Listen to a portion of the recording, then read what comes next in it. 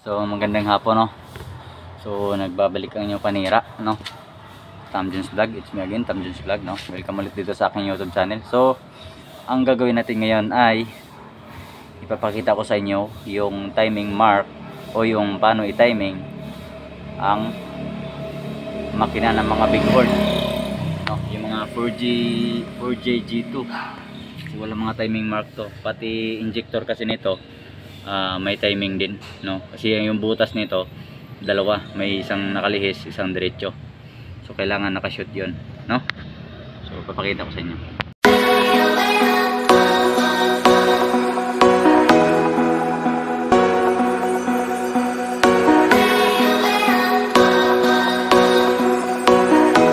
So ito yung timing ko na no?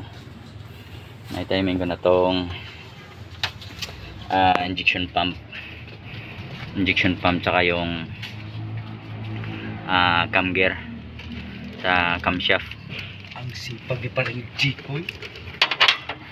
okay lang. Ah, wait teka mo lang to ah, na-timing ko na no? So ang timing ng ano ng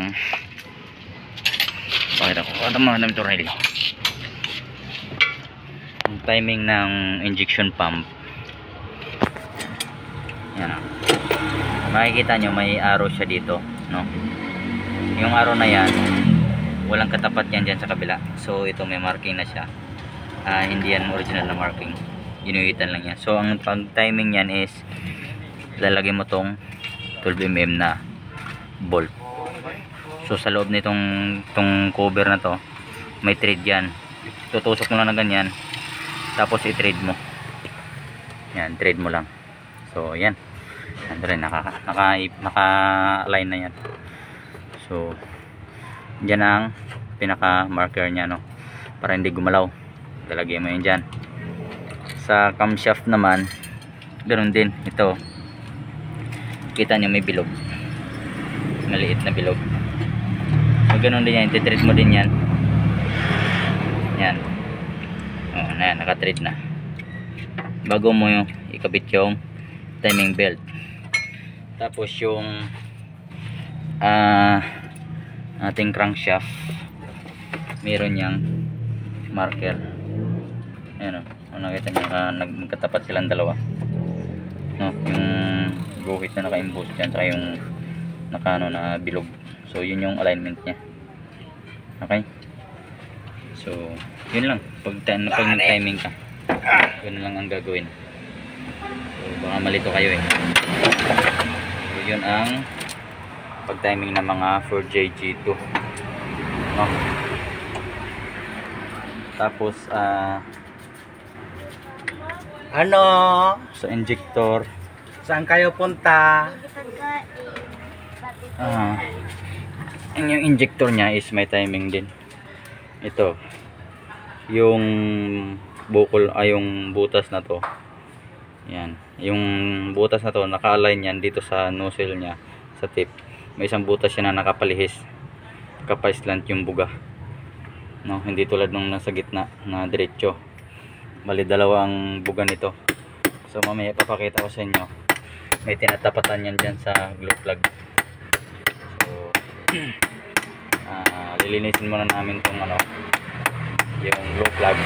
Ay yung lagay ng mga injector kasi marumi bago ko ikabit tong mga injector no? Bago namin isalpak ulit. So paparedondohin ko lang para yung mga dumi dyan sa loob ayan o Ayan. eh mawala. Tatalsik siya. Okay ah, paredondohin lang namin yan.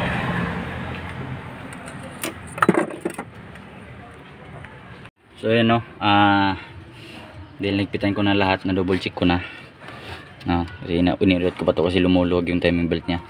So ikabit ko na lang muna yung ah, buong timing Tama. cover dito para walang malaglag na tornilyo. Tapos tsaka ko tsaka namin i ano yung, yung mga injector. Kabit. Ha? Okay. So ito na no? Ah, naisalpa ko na. So yan no? Nakita niyo yung butas. Itinapat ko sa yung matulis dyan sa glow plug so lahat ganyan din ang gagawin nyo pag nagsalpak kayo ng ano ng injector. Mga ganitong ano ah, bighorn o kaya ano ba ba trooper ba?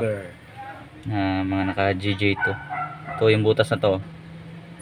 Yan i-align nyo lang dito sa ang nakabukol dito sa glue plug. Yan yung saktong butas ha? So hihigpitan na namin to ngayon. And kumpletuhin na namin mamaya ayan. So inabot na kami ng gawa. Inabot na kami ng gawi, gabi sa paggawa nito. Nakakabit na. So puro kalawangin na yan. At talagang stock na stock yung makina na to. Ah, napabayaan. Ah, binahayan na ng kung ano-ano. Ayan, may hinang pa yung ano niya. Yung kanyang return tube. So yun na. Nagabit na. Pati injection pump. Yan Ah, bagong calibrate yan at ang gagawin ngayon is ibabalik niya yung mga wire tapos yung mga bypass hose yung hose ng ah, idle up na yung sa cold start yung hose niya. Tapos ah, yung mga vacuum. Tapos yung kanyang radiator hose at radiator tsaka mga belt yan ah magpapalit pa pala kami ng ano. Yan yung hose ng ano. Ito ito ito, ito. sa ETF no? Yung sa cooler nya yung papuntang radiator yan. Yung nakababad sa tubig. So yun. Um, nakabit na naman siya. So kumpletuhin na lang muna namin to. Inabot na kami talaga ng gabi. So yun lang. Sige kami munang kukumplituhin. Habol ko muna kami hanggat ah, bakante pa no? Bukas busy na naman. So balik kami mamaya. Alright gabi na. Kasi tayo post pang mayaman. 7.30 na ng gabi. Ta- tuloy pa rin ang aming paninira yun na no ah yakit na ng bagyo. So ginabi na naman tayo. At ah, nakaawas sa araw natin to ngayon yung oras ng paggawa natin dito. No? Yan na. Ah, umandar na siya.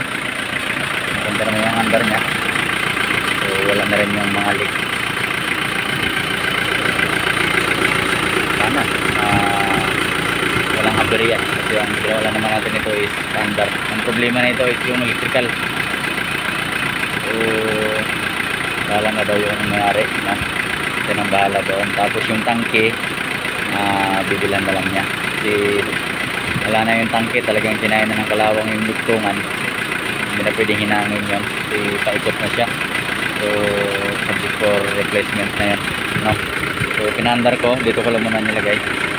Ito yung in ito yung return para bumalik dito yung galing ng injection pump so grabe itong program na to. Grabe yung inabot dito na tagal sakit. Sakit sa ulo. Ah, ang history kasi nito is ah, 2015 yung huling ah, rehistro no 2015 then since, since noong 2015 na ano yun ang huling gamit daw ng may-ari. Tapos yun ang overhaul general overhaul. Ngayon hindi na napandar nung hindi na pinandar nung gumawa. Then yung radiator pinahinang namin. Ito yun makikita nyo. Hindi kasi bumili yung may-ari ng ano ah, radiator na bago. Kasi ito bilhan na lang kasi ng bago eh hindi siya bumili pinahinang na lang to pinag overhaul din. Then yung turbo nilinis lang namin. Kasi sa tagal uh, maganit siya ikutin no? hindi maganda. Ikot tapos sabi ka tapos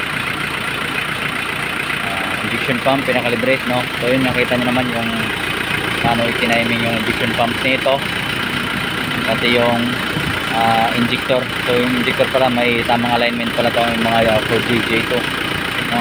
Basta, basta salpak ng salpak. May tamang alignment to. Then, kanina, tinuno namin yung injection pump kasi malamya.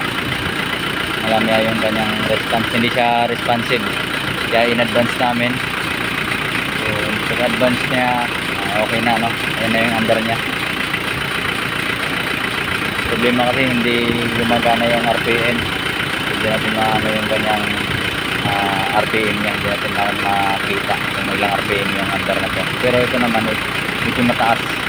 Tama lang din yan. So, lumalabas for break in muna siya. Umandar kasi ito kahapon, ah, kanina umaga, Ah, habang tinu tina, tinutuno namin yung kanyang injection pump ang bumigay naman is yung shut off valve no?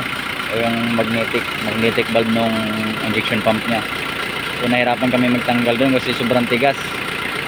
Ah, nag-sacrifice kami ng isang combination na 24mm na liabi na tool. Ah, pinutol namin then uh, winilding dun sa shut off valve para lang mabunot.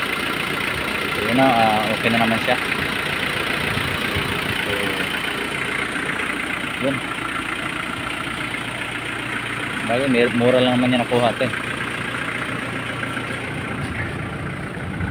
So, yung loob nito is walang linis talaga.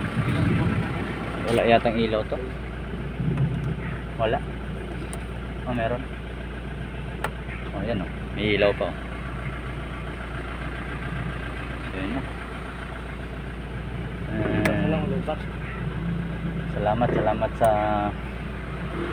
nanood. No. Salamat sa mga nanood sa pag pagpaanda namin itong big na to. Okay? So maraming maraming salamat sa inyo lahat, no. Ah, yung ibang ano ka pala dito is nandun sa live. Naka-live ako nun. Nung sinalpak namin yung injection pump. Tsaka injector. So, kung gusto yung tingnan yon hanapin mo lang doon sa ano, aking mga videos. May um, na, naka-upload na. May naka-upload na ng mga videos nito nung pag install ng mga kinalas.